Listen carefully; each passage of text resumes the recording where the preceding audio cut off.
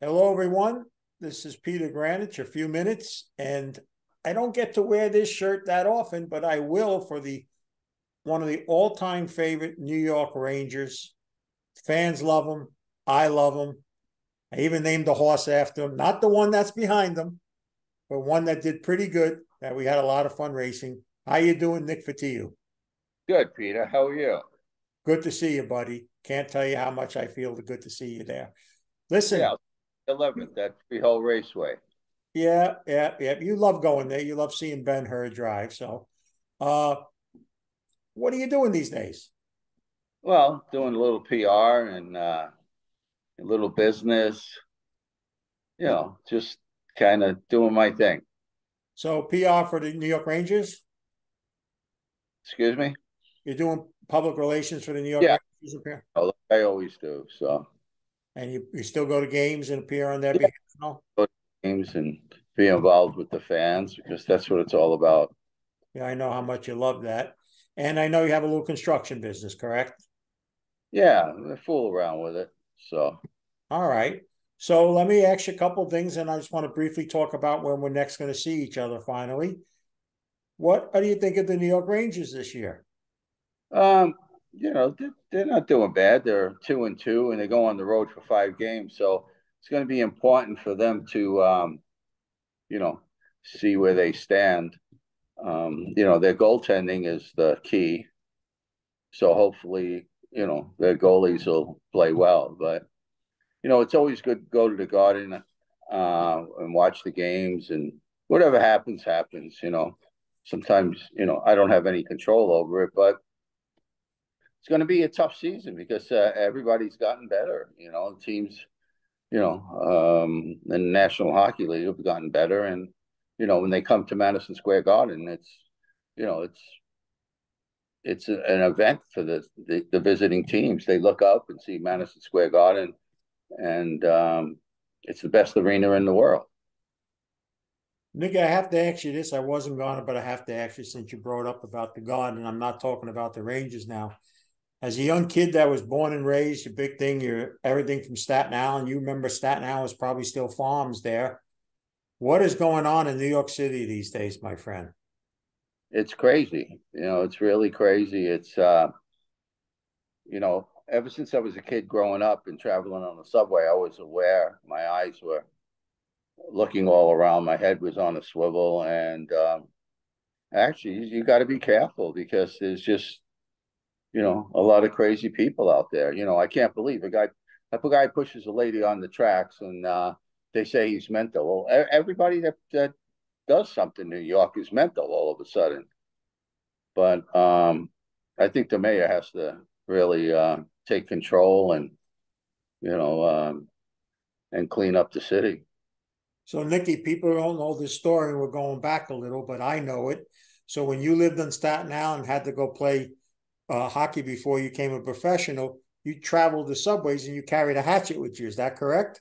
Yeah, I carried a hatchet to protect myself because, um, you know, I'm traveling in the subways three o'clock in the morning, five o'clock in the morning, you know, one o'clock in the morning, and uh, to get ice time. And, uh, you know, uh, I was all by myself, so I had to protect myself. And, uh, you know, you gotta you gotta fend for yourself. You gotta be careful, Peter, out there. And you know, as I was careful when I was a kid, I'm still careful now. I don't know if a hatchet would be enough, Nick. What's that? In these days, I don't know if a hatchet would be enough. I know, but it's something. You got to have something, you know. Well, listen. And, you know, you got to protect your family. It's it's crazy. I mean, look what's going on in in the world. I mean, it's it's insane. Um, and like I said, you got to protect your family. You can't protect everybody, but you got to protect your family. I got you. So tell me a little about before I let you go and we'll quickly talk about the upcoming November 11th. What do you think of the NHL these days? What's if I had to say to you, what's the biggest difference, good or bad, from the days you were playing? What would it be?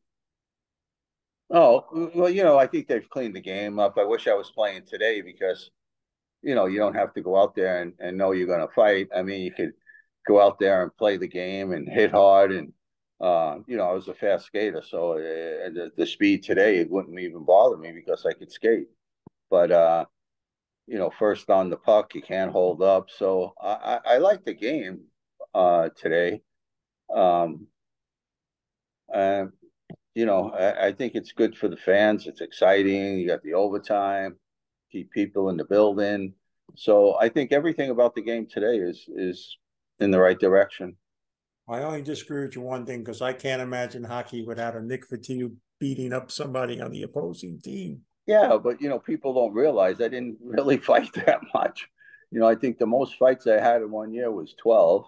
I just protected my players, you know, just like I protected my friends against, you know, bullies when I was a kid going through school. Uh, I protected my friends. I protected my teammates. I protect, you know, people that need help. Um, so that's me, Peter. I know. I know. Listen, I know you. And that brings us up to the final point. On Saturday, November 11th, you're going to be kind enough to join me at Freehold Raceway. It's Veterans Day. We sponsor, my wife and I, a, a race for veterans. We raise money for a veterans organization. And you come and you spend the day with us as much as harness is your second choice of racing versus thoroughbreds you still have a good time there. I will learn on that day, particularly, not to er, order any rice pudding or anything that you could use as a weapon against me. So I look forward to seeing you on that day. That's right. I, you know, we'll have a good time. You know, the people sign autographs, have a good time. And double rice pudding for you anyway. Um, and um, yeah, that's what I'm looking forward to having a great time. You know, and we it's it's always a great time when you're at the track and there's fans and you're betting on horses and having a good time. I mean, life's too short not to have a good time. You're right, but people have to know. And I had the great pleasure of personally knowing you for several years now and being around players. You are the biggest prankster in any sport from everybody I talked about that ever played. And I've experienced it enough. And the reason we talk about the rice pudding because you invited my nose into rice pudding more than once. Hey, Peter, you know, when you're playing professional hockey and you're going to these buildings, like when I went to playing with the Rangers, you go to the into the spectrum, and the guys were scared in their pants trying to getting off the bus. So for me to play jokes on guys, to get the guys in a good mood, having fun.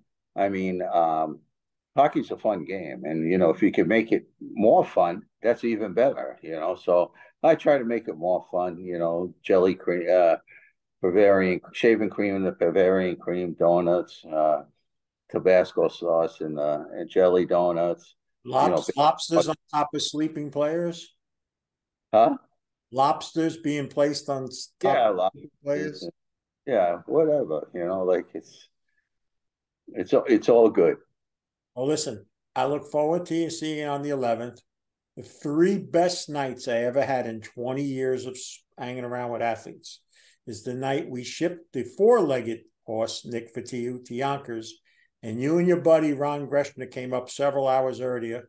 We went for dinner, and you talked about your days of playing together. And if I had a tape recorder, I could sell that to Ranger fans because you guys could have never made it if they had videos and, and camera phones. You know what, Peter? It, it, was all true and it was all fun.